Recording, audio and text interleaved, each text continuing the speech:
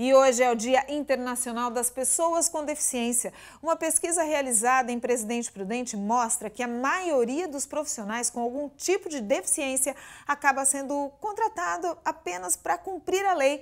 Quem perde é o mercado de trabalho. Foi depois de muito preconceito que a Mara conseguiu um bom emprego. Ela tem deficiência visual no olho esquerdo. Entrou no serviço como telefonista pela lei de cotas foi a chance que faltava. Era muito difícil porque a sociedade vê assim meio que um preconceito, né? E hoje é, foi bom porque é uma oportunidade nova. Ainda que a lei determine a contratação de pessoas com deficiência, o ideal está longe de ser alcançado.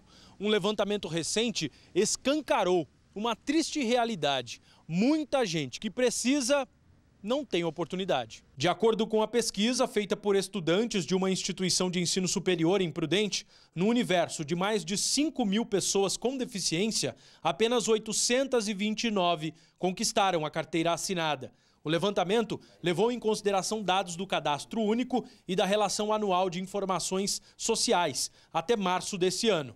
Desde 2016, essa é praticamente a mesma média de geração de emprego para deficientes na cidade. Eles sentem que eles entram no mercado, alguns entram no mercado de trabalho pela lei de cotas, e quando entram, é, é apenas para cumprir a tabela da cota e não realmente pela capacidade profissional. Nessa entidade assistencial em Presidente Prudente, o mercado de trabalho é o sonho para a maioria desses jovens. Já teve oportunidade em algum lugar? Não. Não teve? Nunca. Nunca teve? E já procurou? Já.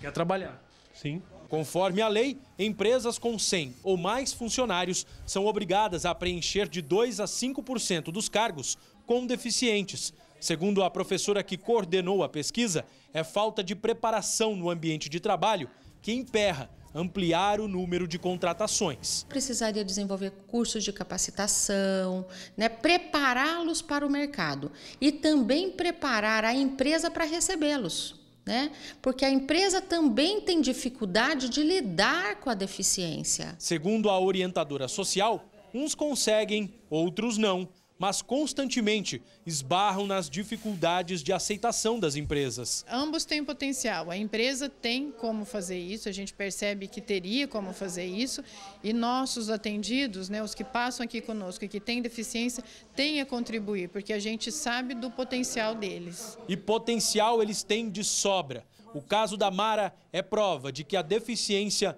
não impede o profissionalismo. A capacidade profissional da pessoa com deficiência é muito além do que a gente imagina.